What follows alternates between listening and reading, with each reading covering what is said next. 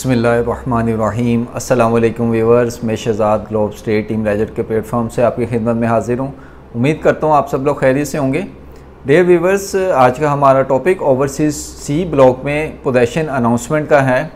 Barrier town ने overseas C block में पोदेशन announce कर दिया है।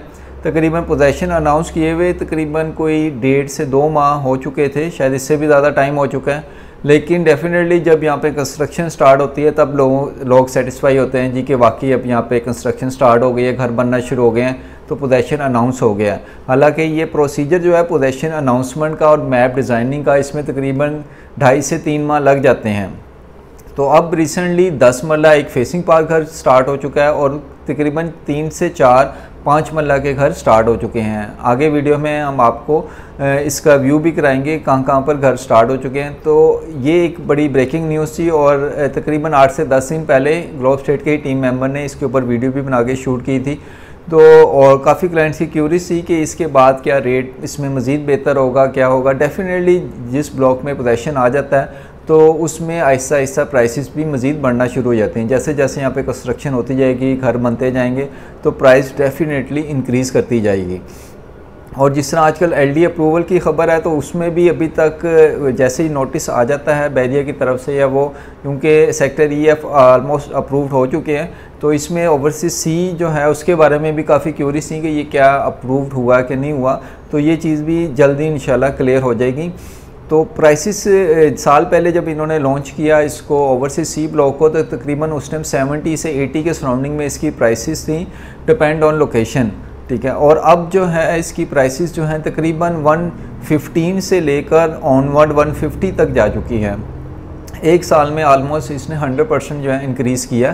तो प्राइसेस काफ़ी अच्छी तेज़ी से बढ़ रही हैं और इसका सराउंडिंग एरिया काफ़ी अच्छा है क्योंकि overseas B extension almost fill है, ऊपर ओवरसीज़ बी जो है वो फिल है, नीचे तलहा ब्लॉक आ जाता है। तो ये सेंटर में ब्लॉक है जिसकी वजह से यहाँ पर हम एक्सपेक्ट कर रहे हैं घर बनेंगे नहीं, बल्कि उगेंगे, यानी कि बहुत तेज़ी से कंस्ट्रक्शन होगी।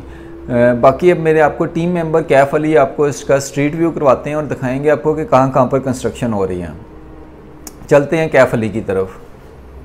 Aslam viewers this is Kaif Ali here from Globe State and builders team legend ये व्यूवर्स, अभी मैं बैड लाहौर में ओवरसीज सी ब्लॉक में मौजूद हूँ, जिस तरह शहजाद साहब ने आपको बताया था, यहाँ पर रिसेंटली पोजेशन अनाउंस कर दिया गया हुआ है तो यहाँ पर पाँच मरल के और दस मरल के घर बनना शुरू हो गए हुए हैं। वो मैं आपको अपने स्ट्रीट व्यू में दिखाऊँगा। उससे पहले बताता चलूँ, अभी मैं मेन बुलीवार्ड पर मौजूद हूँ ओवरसीज सी की। ये राइट साइड पर जो मेन बुलीवार्ड है hundred foot wide main boulevard road ये ओवरसीज बी एक्सटेंशन से आ रही है। और बिल्कुल ही मेरे लेफ़्ट साइड पर जो eighty foot wide main boulevard है ये डायरेक्ट सीधे तला ब्लॉक की तरफ़ जा रही है। डियर व्यूवर्स अब मैं आपको उसका स्ट्रीट व्यू दिखाऊँगा। स्ट्रीट व्यू में आपको दिखाऊँगा, यहाँ पर पाँच मिनट की दस मिनट की कंस्ट्रक्शन शुरू हो गई हुई है। तो स्ट्रीट व्यू लाजमी देखिएगा। शुक्रिया।